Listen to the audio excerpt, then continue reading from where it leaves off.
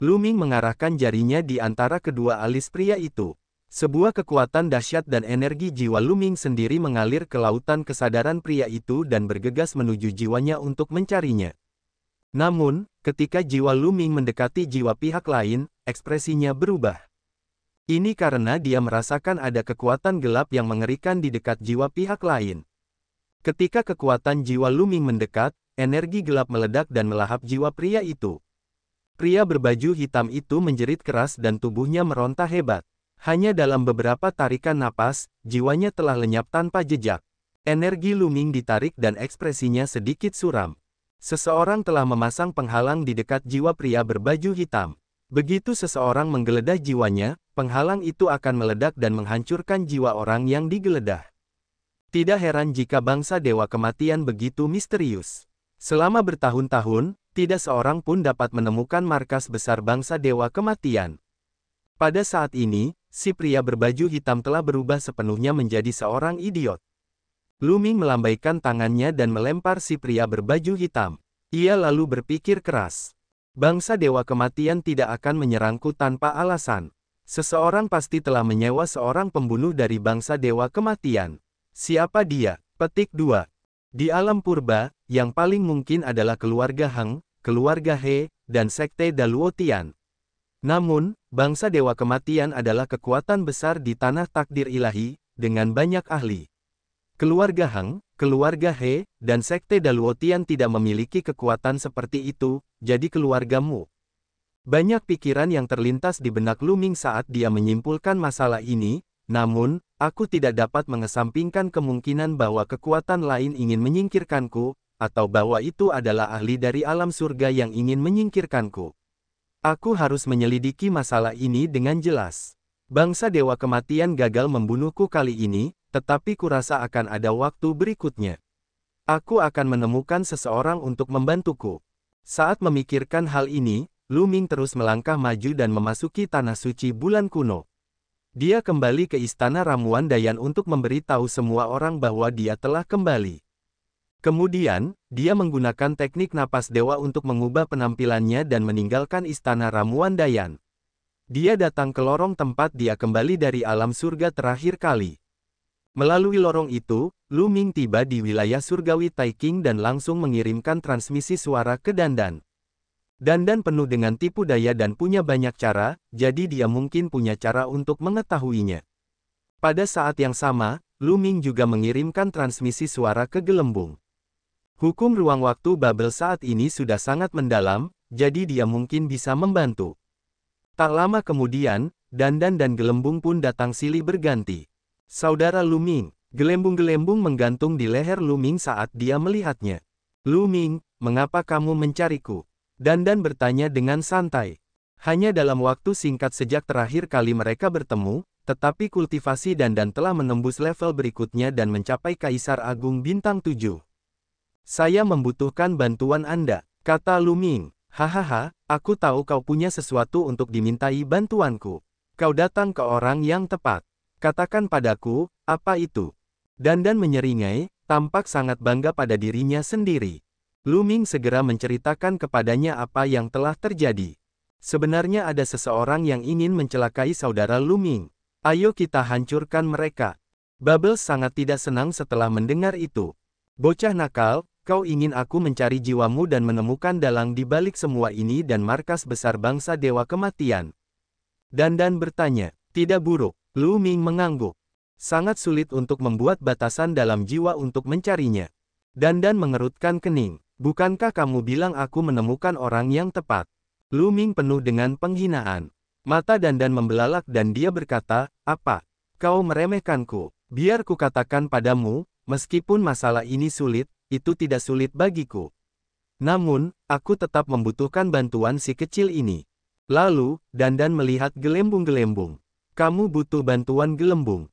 Lu Ming bingung. Benar sekali, kita akan tahu saat waktunya tiba. Ayo berangkat. Kata Dandan, tunggu sebentar, untuk jaga-jaga, ayo kita cari dua pembantu lagi.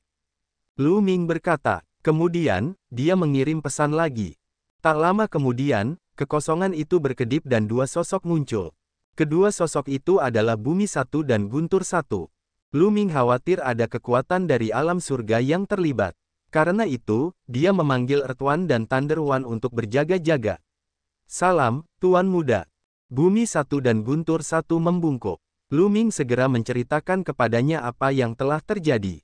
Earth One, Thunder One, kalian berdua masuklah ke duniaku yang kecil terlebih dahulu agar tidak membuat musuh waspada. Kata Lu Ming, baiklah. Bumi Satu dan Guntur Satu mengangguk, lalu memasuki dunia kecil Lu Ming. Luming meminta Dandan untuk memasuki dunia kecil juga.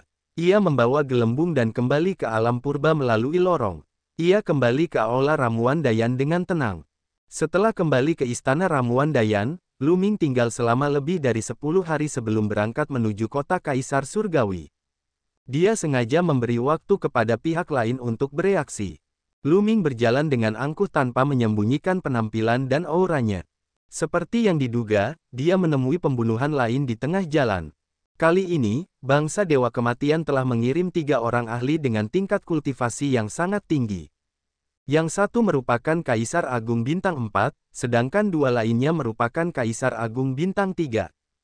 Jelas bahwa terakhir kali server Dewa Kematian gagal dalam upaya pembunuhan mereka, kedua ahli itu belum kembali. Ini membuat mereka berhati-hati, dan kali ini, mereka mengirim tiga ahli. Bahkan seorang Kaisar Agung Bintang 4 pun akan berada dalam bahaya jika mereka dibunuh oleh barisan seperti itu. Ada kemungkinan besar mereka akan mati. Sayangnya, mereka telah bertemu Luming. Pertempuran ini juga merupakan kekalahan telak. Kaisar Agung Bintang 4 dibunuh oleh Luming dengan beberapa pukulan. Dua Kaisar Agung Bintang 3 juga terluka parah oleh pukulan Luming. Salah satu dari mereka dilumpuhkan oleh Luming. Semua gerakannya disegel dan dilempar ke tanah. Luming menginterogasi pihak lain. Seperti yang diharapkan, pihak lain tidak mengatakan sepatah kata pun. Dengan sebuah pikiran, sosok Dandan muncul. Dandan, apa yang harus kita lakukan? Lu Ming bertanya, ada batasan dalam jiwa mereka, jadi sangat sulit untuk mencari jiwa mereka. Begitu ada kekuatan yang mendekati jiwa mereka, jiwa mereka akan hancur sendiri, jadi metodeku tidak akan menembus jiwa mereka. Setiap otak makhluk hidup memiliki meridian kecil yang tak terhitung jumlahnya. Beberapa meridian disebut meridian memori dan memiliki kemampuan untuk mengingat. Metode saya adalah mengendalikan kesadaran seseorang melalui suatu susunan dan membiarkan gelembung menggunakan teknik backtrack waktu. Melalui saraf memori seseorang, saya dapat melihat apa yang terjadi di masa lalu. Dandan menjelaskan, mata Luming berbinar. Memang, metode ini benar-benar bisa dilakukan. Dengan kendali bubble atas hukum ruang waktu, tidak menjadi masalah baginya untuk melakukan penelusuran waktu kembali. Kalian, di sampingnya, Kaisar Agung Bintang 3 yang tidak lumpuh terkejut. Ia ingin melawan, tetapi ia diinjak-injak sampai mati oleh Dandan. Kemudian Dandan mulai menyusun formasi. Satu demi satu rune memasuki tubuh yang lain. Sesaat kemudian, mata pihak lain menjadi tidak fokus, seolah-olah dia menderita demensia. Si kecil, serang, dan dan berteriak, kicauan-kicauan. Bubbles bergerak dan kekuatan waktu yang dahsyat menyelimuti pria berbaju hitam. Lalu, dengan lambaian tangannya, gambar-gambar muncul di kehampaan. Gambar-gambar ini adalah kenangan pihak lain. Misalnya, adegan pihak lain menyergap Luming dan adegan mereka dalam perjalanan ke sini. Gambar-gambar itu seolah memutar balik waktu. L. Dandan menggunakan formasi tersebut untuk mengendalikan kesadaran pihak lain. Selain memutar balik waktu gelembung, ia juga memproyeksikan ingatan pihak lain. Seolah-olah waktu telah berputar kembali saat ingatan tersebut ditampilkan satu per satu. Tidak lama kemudian, Luming melihat sebuah gambar. Pria berpakaian hitam itu sendiri sedang mendiskusikan beberapa hal dengan beberapa orang lain. Kaisar Agung dari keluarga Hang, Kaisar Agung dari dinasti Luo. Lu Ming dapat mengetahui sekilas bahwa beberapa di antara mereka adalah kaisar besar dari keluarga Hang, keluarga Luo yang agung, dan keluarga He. Ada dua orang lain yang tidak dikenali Lu Ming. Selain mereka, orang-orang yang tersisa adalah orang-orang berbaju hitam dari negara Dewa Kematian. Itu memang orang dari keluarga Hang dan He. Mata Lu Ming bersinar dengan kilatan dingin. Juga, klanmu. Meskipun tidak ada suara yang keluar dari ingatannya, dia dapat dengan jelas menilai apa yang dikatakan pihak lain dari bentuk mulut mereka. Keluarga Hang, keluarga He, Sekte Daluotian, keluarga Mu, aku tidak pergi menemui kalian, tetapi kalian mencoba membunuhku berkali-kali. Kalian tidak perlu tinggal di dunia ini. Lu Ming berkata dengan dingin. Gambar-gambar kenangan itu terus bermunculan bola-balik. Tidak lama kemudian, mata Lu Ming berbinar. Dia melihat apa yang ingin dilihatnya, dan itulah cara menemukan markas besar bangsa Dewa Kematian. Markas besar bangsa Dewa Kematian sebenarnya adalah sebuah kota bawah tanah, sebuah kota bawah tanah kuno. Lebih jauh lagi, kota kuno ini tidak diam, tetapi bergerak. Setelah jangka waktu tertentu, ia akan pindah ke tempat lain. Jalan menuju kota bawah tanah juga sangat rumit. Mereka tidak akan dapat menemukannya jika mereka hanya selangkah lagi. Tidak heran jika selama bertahun-tahun tidak ada seorang pun yang menemukan markas besar bangsa Dewa Kematian. Luming bergumam, matanya dipenuhi niat membunuh yang dingin. Dia juga ingin menghancurkan markas besar negara Dewa Kematian. Semua, tiba-tiba, Si pria berbaju hitam mengeluarkan suara gemuruh yang keras. Seluruh tubuhnya berkedut, dan dia jatuh ke tanah, mulutnya berbusa. Pembatasan yang dikenakan pada jiwa rohnya telah diaktifkan.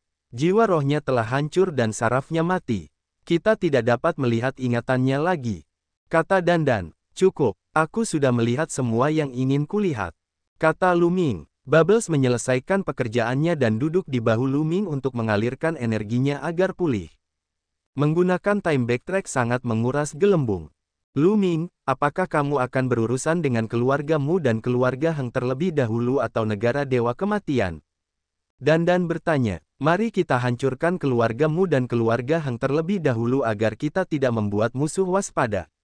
Bangsa Dewa Kematian tidak terburu-buru. Mereka pasti tidak tahu bahwa kita telah menemukan jalan menuju markas mereka. Lu Ming mencibir. Seketika itu juga, Lu Ming mengubah mayat para pembunuh bangsa Dewa Kematian menjadi abu dan melanjutkan perjalanannya menuju kota Kaisar Surgawi. Tidak butuh waktu lama bagi mereka untuk tiba di kota Kaisar Surgawi. Ketika Lu Ming tiba di rumah keluarga Hang dan keluarga He, dia menyadari bahwa kedua keluarga besar itu telah ditinggalkan. Hanya beberapa orang dengan tingkat kultivasi rendah yang tersisa untuk menjaga tempat itu. Mereka berjalan cukup cepat. Mereka mungkin sudah sampai di keluargamu. Luming mencibir dan kemudian auranya meledak. Ledakan.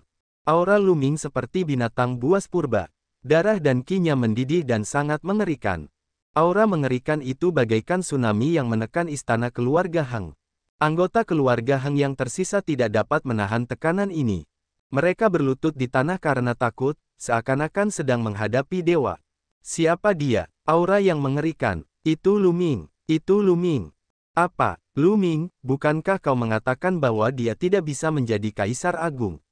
Aura ini benar-benar tak terbatas dan tak terduga. Aku khawatir Luming sudah menjadi kaisar bela diri. Kultivasinya tak terduga. Dan EBSP, orang-orang di sekitar memperhatikan situasi itu dan mulai berdiskusi dengan kaget. Jelas sekali, Lu Ming telah membuat beberapa kemajuan dalam kultivasinya dan kembali menimbulkan masalah bagi keluarga Hang. Berita ini menyebar seperti badai. Di kota Kaisar Surgawi, banyak sekali sosok yang terbang menuju keluarga Hang. Keluarga Hang dikelilingi oleh kerumunan orang. Aneh, kenapa tidak ada seorang pun dari keluarga Hang yang keluar? Tidak ada satu pun aura yang kuat di keluarga Hang. Mereka semua sangat lemah. Mungkinkah keluarga Hang tahu bahwa Luming akan datang dan semua ahli di keluarga Hang telah mundur? Itu sangat mungkin. Sepertinya keluarga Hang akan hancur hari ini. Banyak orang berspekulasi dan kemudian menjadi bersemangat. Klan Hang dan klan He adalah dua kekuatan terkuat di kota Kaisar Surgawi. Mereka biasanya sombong dan mendominasi dengan Kaisar Agung yang bertanggung jawab. Kekuatan lain harus memberi mereka muka. Sekarang ketika itu benar-benar akan dihancurkan, itu sungguh sangat memuaskan. Semua orang di keluarga Hang, dengarkan baik-baik. Mulai sekarang, keluarga Hang adalah milikku. Kalian semua, pergilah. Aku beri kalian waktu satu jam. Jika kalian tidak pergi, aku akan membunuh kalian tanpa ampun. Pada saat ini, Lu Ming berbicara, suaranya menyebar ke setiap sudut.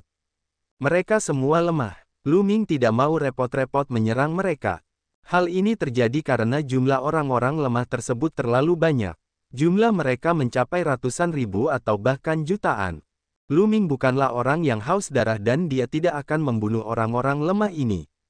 Jika dia ingin membunuh, dia akan membunuh kelompok orang yang paling kuat. Ayo pergi, anggota keluarga Heng tidak ragu-ragu. Begitu Lu Ming selesai berbicara, mereka bergegas keluar dari keluarga Heng. Menghadapi musuh seperti Lu Ming, mustahil bagi mereka untuk melawan mengingat kultivasi mereka. Jika mereka melawan, mereka hanya akan menemui kematian. Para petinggi keluarga Hang sudah pergi, jadi mereka tidak perlu melindungi keluarga Hang dengan nyawa mereka. Tidak lama kemudian, tidak ada seorang pun yang tersisa. Dandan, bantu aku mengatur formasi. Luming mengirim transmisi suara ke Dandan. Baiklah, Dandan mengangguk, tubuhnya bergerak, dan dia terbang keluar. Dia melambaikan tangannya, dan rune yang tak terhitung jumlahnya memenuhi udara. Kali ini, butuh waktu tiga hari untuk menyiapkan formasi. Sebuah formasi besar terbentuk, meliputi istana keluarga Hang yang tak berujung. Dengan kultivasi dan dan saat ini, butuh waktu tiga hari baginya untuk menyiapkan formasi. Kecuali Kaisar Surgawi datang, tidak ada yang bisa menghancurkannya. Kemudian, Luming memasuki dunia kecil dan berdiskusi dengan Luan penguasa lembah-lembah naga awan, dan yang lainnya tentang pengiriman orang untuk menjaga keluarga Hang. Pada akhirnya, penguasa lembah naga awan memimpin orang-orang lembah dewa naga untuk menjaga keluarganya. Sungguh ki asal yang padat. Master lembah naga awan dan yang lainnya keluar dari dunia kecil Luming dan melihat sekeliling dengan penuh semangat. Mereka merasakan ki esensial di sekitarnya dan sangat bersemangat. Kota Kaisar Surgawi adalah puncak dari sembilan tempat suci kultivasi di pegunungan Yuan. Lingkungan kultivasinya jauh lebih baik daripada wilayah Chang. Mereka tentu saja bersemangat. Terlebih lagi, wilayah keluarga Hang luas dan terbuka. Meskipun ada banyak orang di lembah Dewa Naga, mereka dapat dengan mudah tinggal di sana. Setelah pengaturan dibuat, Lu Ming pergi ke kediamannya. Klan He sama dengan klan Hang. Semua ahli telah pergi, dan Lu Ming dengan mudah menduduki klan He. Dia memerintahkan Dandan untuk membentuk formasi besar, dan kemudian Lu Ming membebaskan orang-orang lembah Dewa Naga, serta orang tuanya, untuk tinggal di klan He. Meskipun ada pohon kuno pemahaman jalan di dunianya yang kecil, ki asli langit dan bumi jauh lebih sedikit dibandingkan dengan kota Kaisar Surgawi. Untuk saat ini, lingkungan kultivasi di kota Kaisar Surgawi lebih baik. Terlebih lagi, Lu Ming tidak bermaksud menampung begitu banyak orang di dunianya yang kecil. Dia telah menghadapi banyak bahaya di sepanjang jalan dan dia tidak tahu apa yang akan terjadi di masa depan. Jika dia menghadapi bahaya, orang-orang di dunianya yang kecil juga akan berada dalam bahaya. Mulai sekarang, bisnis keluarga Hang dan keluarga He akan berada di bawah namaku. Pada hari ini, suara Lu Ming menyebar ke seluruh kota Kaisar Surgawi. Pada hari ini, suara Luming menyebar ke seluruh kota Kaisar Surgawi. Aura yang mengerikan memenuhi setiap sudut kota. Kaisar yang agung, itu adalah aura kuat yang sebanding dengan Kaisar Agung, yang sangat mengejutkan. Semua orang terkejut tak terlukiskan kata-kata. Apakah Luming telah mencapai alam Kaisar Agung setelah beberapa lama tidak menemuinya? Klan He dan klan Hang telah melakukan banyak kejahatan. Sungguh memuaskan bisa menyingkirkan mereka sekarang. Kami pasti akan membantu Kaisar Agung. Seseorang menjawab, langsung menyebut Luming sebagai Kaisar Agung. Bisnis yang ditinggalkan oleh keluarga Hang dan keluarga He sangat mencengangkan. Jika dia tidak mengintimidasi mereka dengan kekuatannya yang besar, mungkin akan ada orang yang memperebutkannya. Namun, Master Lembah Naga Awan, Si Eluan, dan yang lainnya terlalu lemah untuk bersaing dengan kekuatan-kekuatan ini di kota Kaisar Surgawi. Lu Ming hanya bisa mengintimidasi mereka dengan kekuatannya yang besar. Dengan kehadirannya, ia yakin orang-orang itu tidak akan berani bertindak gegabah. Sepertinya aku harus mengirim sebagian boneka istana kekacauan purba untuk menjaga tempat ini. Lu Ming berpikir dalam hatinya. Boneka-boneka di istana kekacauan purba dipenuhi oleh para ahli. Selain dari bumi satu, emas satu, dan sembilan lainnya yang merupakan kaisar surga, yang lainnya semuanya berada di alam kaisar agung, alam kaisar sejati, alam kaisar hampa, alam orang suci, dan seterusnya. Beberapa boneka kerajaan kaisar yang hebat sudah cukup. Lu Ming tinggal di kota Kaisar Surgawi selama beberapa hari. Ketika situasi di sana sudah lebih atau kurang stabil, Lu Ming melakukan perjalanan ke Tanah Suci Matahari Kuno. Seperti halnya keluarga Hang dan keluarga He, para petinggi Sekte Surga Daluo semuanya telah pergi, hanya menyisakan beberapa orang lemah untuk menjaga sekte tersebut. Lu Ming telah membantu keluarga Ouyang Wushuang untuk menduduki wilayah Sekte Surga Daluo. Keluarga Hang, Keluarga He, Sekte Daluotian, apakah kalian pikir aku tidak bisa berbuat apa-apa terhadap kalian jika kalian bersembunyi di keluargamu? Tepat pada waktunya, kita akan menghabisi mereka sekaligus. Lu Ming mencibir, matanya memancarkan niat membunuh. Dia tinggal di kota Kaisar Surgawi selama beberapa waktu dan meninggalkan sejumlah besar sumber daya. Kemudian, dia meninggalkan kota Kaisar Surgawi dan menuju ke tanah takdir ilahi. Namun, ada satu orang lagi di barisan ini, dan dia adalah Qiu Yue. Dia dan Qiu Yue sudah lama tidak bertemu, dan Qiu Yue sangat merindukannya. Sekarang setelah mereka bertemu lagi, tentu saja dia tidak sanggup berpisah. Dengan kultivasi Luming saat ini, perjalanannya lancar. Dia menyeberangi lautan cincin dan memasuki tanah takdir dewa. Luming tidak berhenti dan langsung menuju kota Ion. Keluargamu adalah salah satu kekuatan terkuat di kota Ion. Setelah Luming, Qiu Yue, Bubbles, dan Dandan memasuki kota Ion, mereka tidak langsung bergerak. Sebaliknya, mereka mencari tempat tinggal. Namun, Luming tidak menyembunyikan identitasnya. Tujuannya adalah untuk memberitahu keluargamu dan mengumpulkan semua ahli dari keluargamu. Kemudian, dia akan menghabisi mereka sekaligus untuk menyelamatkan dirinya dari masalah. Qiu ayo jalan-jalan. Lu Ming berkata pada Qiu. Baiklah. Qiu tersenyum lebar. Dia menarik tangan Lu Ming dan berjalan keluar.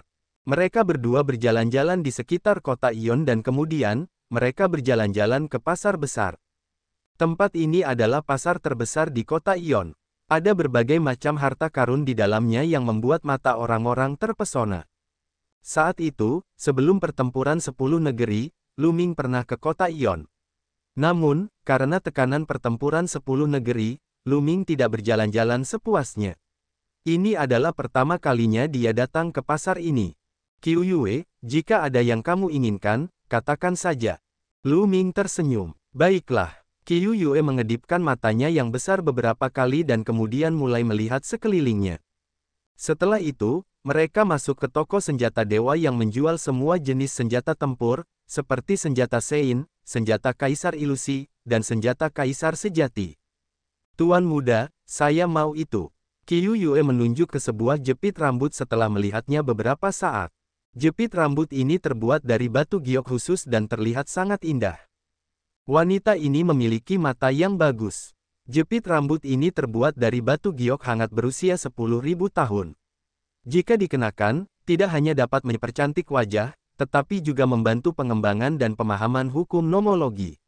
Ini adalah senjata ilusi tingkat atas. Seorang pria setengah baya yang tinggi dan kurus berkata sambil tersenyum. Berapa banyak batu permata mentah? Aku menginginkannya. Kata Luming, 5000 batu mentah bermutu tinggi. Pria setengah baya yang tinggi dan kurus itu tersenyum. 5000 batu mentah kelas Supreme. Itu terlalu mahal. Tuan muda, aku tidak menginginkannya lagi. Qiu Yue terkejut ketika mendengarnya. 5000 batu mentah kelas tertinggi adalah batu mentah kelas tertinggi. Bahkan Kaisar Agung dan Raja Surgawi menggunakannya untuk kultivasi, jadi jelas betapa berharganya batu-batu itu. 5000 yuan memang bukan harga yang murah. Namun, bagi Luming, 5000 batu mentah tingkat tertinggi hanyalah setetes air di lautan. Gadis bodoh, karena kamu menyukainya, aku akan membelinya, tidak peduli seberapa mahalnya. Luming tersenyum dan melambaikan tangannya.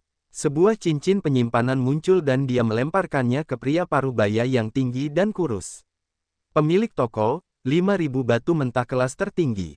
Pria parubaya yang tinggi dan kurus itu mengambilnya dan mengamatinya dengan indera spiritualnya. Ia tersenyum lalu menyerahkan jepit rambut itu kepada Luming. Luming baru saja menerima jepit rambut itu ketika sebuah suara terdengar. Tunggu sebentar, aku mau jepit rambut ini. Saat suara itu terdengar, sekelompok orang berjalan mendekat. Pemimpin kelompok itu adalah seorang wanita muda. Dia sangat cantik, tetapi dia tidak secantik Qiu Yue. Di belakang wanita muda itu ada seorang wanita muda berpakaian seperti pembantu dan dua pria tua. Ekspresi penjaga toko berubah saat melihat wanita itu. Ia lalu tersenyum meminta maaf dan berkata, jadi, Nona Dongfang. Merupakan suatu kehormatan bagi Anda untuk mengunjungi toko kami. Penjaga toko, jual jepit rambut itu padaku. Wanita muda itu berbicara langsung dengan nada memerintah. Nona Dongfang, Anda terlambat. Jepit rambut ini sudah dibeli oleh tuan muda ini. Penjaga toko itu tersenyum kecut. Apa? Wanita muda itu bersenandung dingin dan menatap Luming dengan sedikit kesombongan. Dia mengangkat lehernya dan terus berbicara dengan nada memerintah, berikan aku jepit rambut ini. Aku akan memberimu berapa banyak batu mentah yang kau butuhkan. Maaf, jepit rambut ini tidak untuk dijual. Luming tersenyum. Kamu tidak menjualnya. Mata wanita muda itu menyipit, dan raut wajah tidak senang terpancar di wajahnya. Kau ingin menaikkan batu permata mentah, kan? Katakan padaku, berapa banyak batu permata mentah yang kau inginkan? Saya bilang saya tidak akan menjual. Saya tidak kekurangan batu mentah. Kata Luming, nak, apa yang kau katakan? Kau mungkin tidak tahu siapa nona mudaku, kan? Nona mudaku adalah Dongfang Sueyu, kebanggaan surga nomor satu di tanah takdir dewa, dan tunangan Suan Lin. Apakah kau mengenalnya? Pelayan yang ada di belakang nona muda itu melompat keluar dan menegur, sambil menatap Luming dengan tatapan mengancam. Jenius nomor satu di tanah suci. Luming bergumam. Tampaknya Tianming, Yuan Xin, dan yang lainnya telah berada di alam surga selama beberapa dekade. Sekelompok orang kesayangan surga baru telah muncul di tanah takdir ilahi. Apakah kamu takut sekarang? Biar ku beritahu, Tuan Muda Suan Lin adalah Tuan Muda dari kekuatan besar kota Ion, keluarga Suan. Jika kamu tidak merasa pantas menerima pujianku hari ini, jangan pernah berpikir untuk keluar dari kota Ion. Gadis pelayan itu terus berteriak. Adapun wanita muda, Dong Fang Sueyu, dia memperlihatkan ekspresi bangga. Suan Lin, Dong Fang Sueyu, aku belum pernah mendengar tentang kalian. Kalian bisa tersesat sekarang. Luming berkata dengan nada serius. Dia kemudian berbalik dan berjalan menuju Qiu Yue. Qiu Yue, aku akan membantumu memakainya. Luming tersenyum lembut lalu memakaikan jepit rambut itu di kepala Qiu Yue. Qiu Yue sudah luar biasa, dan dengan jepit rambut itu, dia tampak lebih cantik. Ditambah dengan rona merah di pipinya, dia tampak lebih mengharukan. Dongfang Sueyu, di sisi lain, gemetar karena marah. Luming benar-benar menyuruhnya pergi. Siapa dia? Dia adalah kebanggaan generasinya dan tunangannya adalah kebanggaan nomor satu di Tanah Suci. Luming benar-benar menyuruhnya pergi. Dia mencari kematian, dia mencari kematian. Dongfang Sueyu meraung dalam hatinya. Terutama setelah melihat kecantikan Qiu Yue, kecemburuannya tumbuh hingga ke titik kegilaan. Wanita pada dasarnya pencemburu. Adapun Dongfang Sueyu, dia selalu bangga dengan kecantikannya. Namun sekarang, ketika dia dibandingkan dengan Qiu Yue, dia benar-benar kalah. Wanita jalang, beraninya kau memakai jepit rambutku. Akan kurobek wajahmu. Dongfang Sueyu menjerit melengking dan tubuhnya melesat seperti sambaran petir ke arah Qiu Yue. Cakarnya seperti bilah pisau saat ia menebas ke arah wajah Qiu Yue. Enyah. Luming berteriak dingin dan menamparnya. Kecepatan Luming begitu cepat sehingga Dong Fang Sueyu tidak dapat menghindar sama sekali. Luming langsung menamparkan wajahnya. Apa? Suara keras terdengar dan Dong Fang Sueyu menjerit kesakitan. Tubuhnya terlempar dan jatuh ke tanah, wajahnya bengkak. Tentu saja, Luming telah menunjukkan belas kasihan. Kalau tidak, dia bahkan tidak akan meninggalkan Abu. Dong Fang Sueyu tercengang, begitu pula orang lain di toko. Luming berani menamparkan Dong Fang Sueyu. Apakah dia tidak ingin hidup? Bunuh, bunuh, bunuh dia, bunuh bajingan ini. Dong Fang Sueyu tertegun sejenak sebelum dia bereaksi dan berteriak. Bocah, kau cari mati saja. Berlututlah dan akui kesalahanmu sekarang juga. Ada dua tetua yang mengikuti Dong Fang Sueyu. Pada saat ini, salah satu dari mereka berteriak keras dan menerkam ke arah Luming. Aura yang mengerikan meledak dengan ledakan keras, dan tekanan yang kuat menekan ke arah Luming. Di samping, yang lainnya mundur. Seorang petarung agung.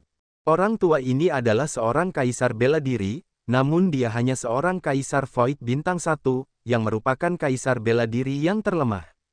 Enyah. Luming berteriak dingin dan menendang wajah pihak lain secepat kilat. Orang tua itu menjerit keras dan terlempar, mengikuti jejak Dongfang Sueyu. Wajahnya kini bengkak seperti kepala babi.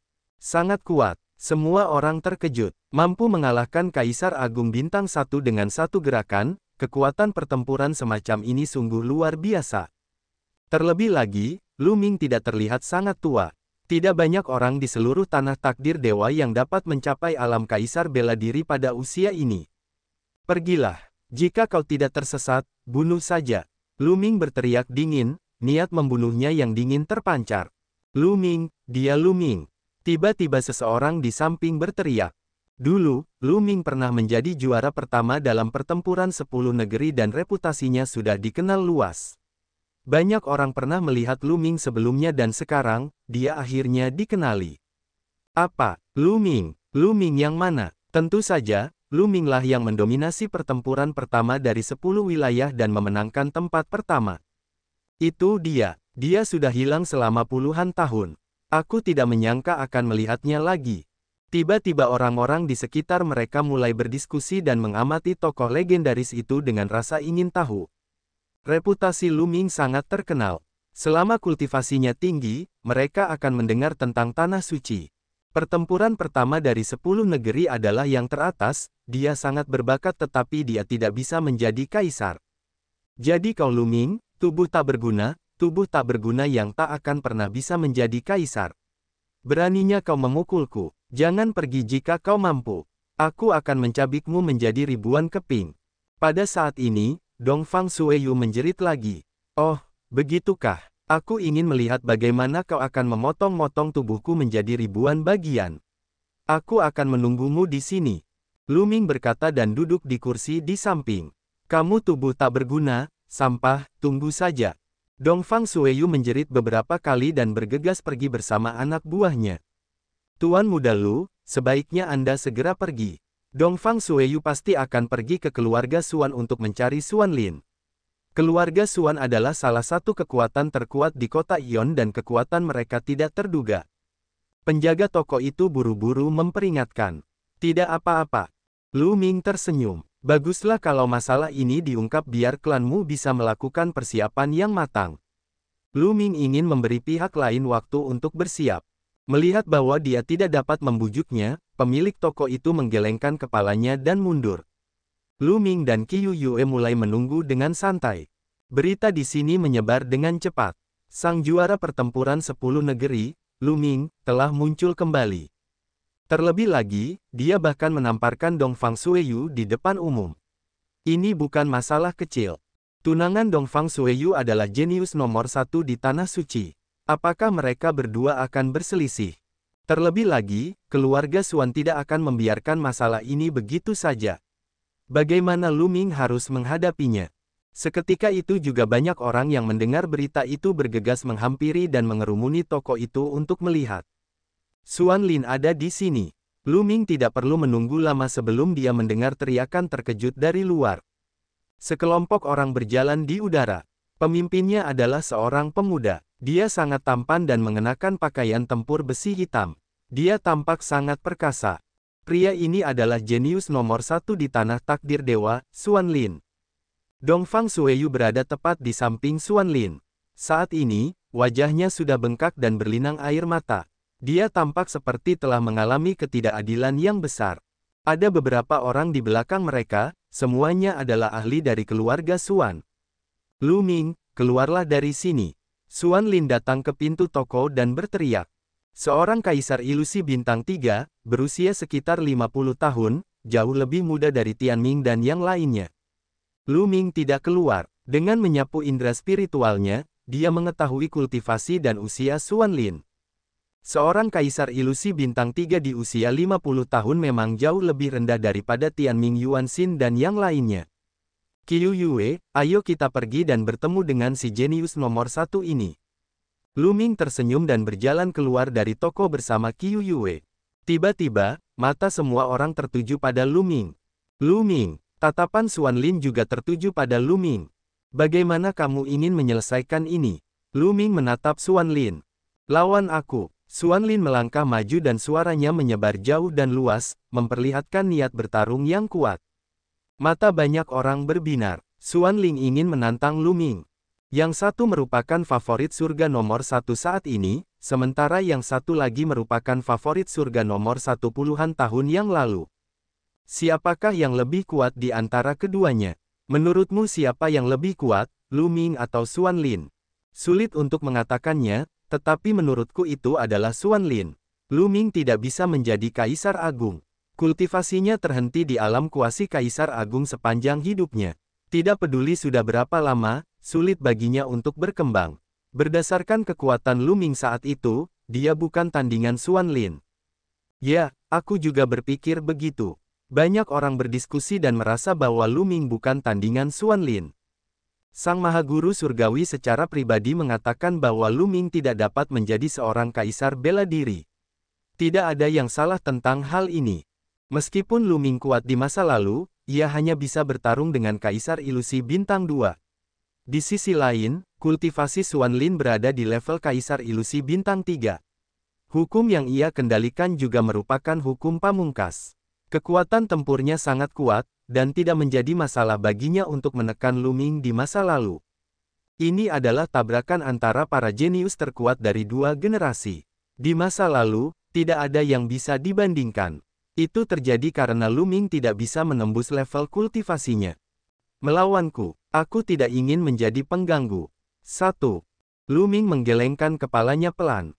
Di matanya, basis kultivasi Suan Lin tidak layak disebut. Luming, kamu tidak berani bertarung, kan?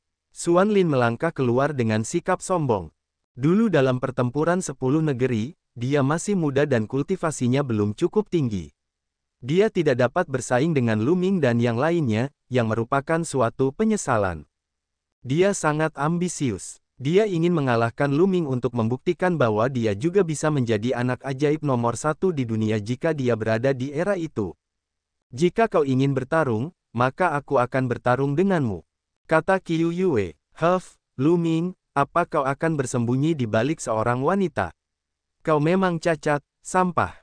Kau benar-benar memenangkan gelar juara dunia dalam pertempuran pertama di sepuluh negeri. Sungguh lelucon. Serang, aku akan mengalahkanmu dalam sepuluh gerakan. Suan Lin berteriak dingin dan terus melangkah maju. Aura kuatnya menekan Lu Ming. Akhirnya, dia meninju dan seekor kura-kura raksasa sebesar gunung terbentuk. Kura-kura itu menekan Luming. Jika kau ingin bertarung, maka aku akan bermain denganmu. 1. Ayo pergi, kata Luming acuh tak acuh. Dia melangkah maju dan bergegas menuju hutan Suan. Ledakan, Luming tidak bergerak. Sosoknya melesat lewat dan kura-kura raksasa yang diserang Suan Lin meledak. Sosok Luming tidak berhenti dan langsung muncul di depan Suan Lin. Jarak mereka berdua kurang dari satu meter. Pupil mata Suan Lin mengecil dengan cepat saat dia meraung ketakutan dan mundur dengan panik. Namun, tiba-tiba dia menyadari bahwa dia tidak bisa menggerakkan tubuhnya. Dia tidak bisa bergerak sama sekali. Ruang di sekitarnya tampak membeku. Luming mengulurkan tangan dan mencengkeram leher Suan Lin. Semua orang di tempat kejadian tidak dapat menahan diri untuk tidak membelalakkan mata mereka. Apa yang sedang terjadi? Dia tidak melihat Luming bergerak dan tidak ada aura kuat yang menyelimuti udara. Bagaimana Luming bisa mencengkeram tenggorokan Suan Lin? Seolah-olah Suan Lin telah menunggu di sana tanpa bergerak menunggu Luming melakukannya. Tak seorang pun dapat menemukan jawabannya. Kau ingin menantangku dengan kekuatanmu. 1. Luming bicara acuh tak acuh, suaranya penuh penghinaan. Suan Lin meronta sekuat tenaga, dan matanya dipenuhi ketakutan. Tersesat. 1. Luming mengayunkan lengannya dan tubuh Suan Lin langsung menghantam tanah. Dengan suara keras, sebuah lubang besar muncul di tanah. Suan Lin tergeletak di dalam lubang dan memuntahkan seteguk darah. Yang lainnya tercengang. Satu gerakan, tidak, Luming bahkan tidak melakukan gerakan resmi, dan Suan Lin dikalahkan. Dia bahkan tidak bisa menahan satu pukulan pun. Bukankah Luming tidak mampu menjadi kaisar bela diri? Mengapa dia memiliki kemampuan bertarung yang begitu kuat? Mungkinkah Luming telah menjadi kaisar bela diri? Memikirkan hal ini, jantung banyak orang berdebar kencang. Luming, yang pangkatnya di bawah Martial Supreme, telah menguasai banyak jenis hukum dan bahkan hukum pamungkas yang berbeda. Dia benar-benar menentang surga. Sang Raja Surgawi telah menegaskan bahwa Luming tidak akan mampu menerobos dan menjadi kaisar bela diri sepanjang hidupnya. Namun, jika Luming dapat menciptakan keajaiban dan menantang surga untuk menjadi kaisar ilahi, seberapa hebatkah kekuatan tempurnya? Luming, aku ingin kau mati. Bunuh dia, bunuh dia. Di bawah, Suan Lin berteriak histeris. Sebagai jenius nomor satu di Tanah Suci, dia tidak pernah kalah dalam pertempuran melawan rekan-rekannya. Dia tidak pernah tahu seperti apa rasanya kekalahan. Sebelumnya, dia datang dengan sikap mendominasi dan berkata bahwa dia akan mengalahkan Lu Ming dalam 10 gerakan. Namun, sekarang dia dengan mudah dikalahkan oleh Lu Ming dan bahkan tidak dapat menahan satu pukulan pun. Dia sama sekali tidak bisa menerima hasil seperti itu. Dia begitu marah dan benci sehingga dia tidak sabar untuk memotong Luming menjadi delapan bagian. Bunga-bunga di rumah kaca tidak tahan terhadap angin dan ombak. Luming menggelengkan kepalanya, memperlihatkan rasa jijik yang kuat. Tampaknya generasi Luming adalah generasi emas sejati. Ada banyak orang jenius dan mereka saling bersaing. Banyak dari mereka yang sangat cerdas dan telah mengalami banyak badai. Sedangkan untuk generasi ini, tampaknya jumlah orang jeniusnya jauh lebih sedikit. Jalan Suan Lin ini terlalu mulus. Meskipun bakatnya tidak buruk, pikirannya tidak bagus. Dia jauh lebih rendah dari Tian Ming dan yang lainnya. Saat ia mengalami kegagalan, saat ia mengalami kemunduran, ia langsung tidak dapat menerimanya. Ia tidak dapat menanggungnya. Bunuh, bunuh dia. Suan Lin meraung. Kata-kata Lu Ming menusuk hatinya. Lu Ming, berlututlah dan terima kematianmu. Beberapa orang yang mengikuti Suan Lin ke sini menyerang Lu Ming, memancarkan aura yang menakutkan. Kaisar sejati, tiga dari mereka adalah ahli alam kaisar sejati. Mereka dikelilingi oleh cahaya ilahi dunia dan tampak seperti dewa. Berlututlah. 1. Tekanan mengerikan dari alam kaisar sejati menekan Lu Ming, mencoba memaksanya bertekuk lutut. Bertaruhlah pada saudara perempuanmu. Kalian semua, enyahlah. Luming berteriak dan melayangkan pukulan. Udara meledak dan kekuatan tinju yang mengerikan menyerbu ke arah tiga kaisar sejati. Ini, tiga kaisar sejati hampir mati ketakutan saat merasakan kekuatan tinju Luming yang mengerikan. Tingkat kekuatan itu sama sekali bukan sesuatu yang dapat mereka lawan. Sudah terlambat bagi mereka untuk mundur. Ledakan. Saat kekuatan tinju itu menghancurkan, tubuh ketiga orang itu meledak dan berubah menjadi api yang beterbangan. Suasana tiba-tiba menjadi sunyi. Tidak ada suara sama sekali. Mata semua orang terbelalak karena tidak percaya. Tiga kaisar sejati. Itu adalah tiga kaisar sejati. Mereka benar-benar berubah menjadi abu oleh Luming dengan satu pukulan. Bagaimana ini mungkin? Bagaimana kekuatan tempur Luming bisa begitu kuat? Dongfang Sueyu berdiri di sana dengan linglung, mulut kecilnya sedikit terbuka, seolah-olah dia sedang bermimpi. Suan Lin juga tercengang, matanya dipenuhi ketakutan dan ketidakpercayaan. Aku akan mengantarmu pulang. Lu Ming menatap Suan Lin dan menghentakkan kakinya. Sebuah kaki besar yang terbentuk dari kekuatan dunia menghentakkan kaki ke arah Suan Lin. Ah! Suan Lin sangat ketakutan hingga dia terus berteriak. Pada saat ini, sesosok tubuh melesat secepat kilat dan menyapu Suan Lin sebelum kaki besar Lu Ming bisa mendarat. Ada kilatan cahaya di langit di kejauhan, dan seorang lelaki tua dengan rambut putih dan jubah putih muncul.